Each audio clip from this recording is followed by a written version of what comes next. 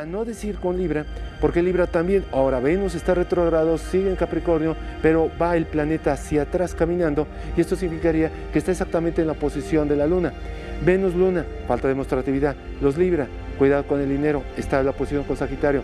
Y aparte de eso, la Luna Negra podría ser que con el aspecto retrógrado, la oposición, ya saben que hay una estadística que hay mucha violencia cuando dicen que hay luna llena, el problema de los amantes, de los amigos, de las relaciones económicas se puede acentuar. Así que este signo, cuidado con ello.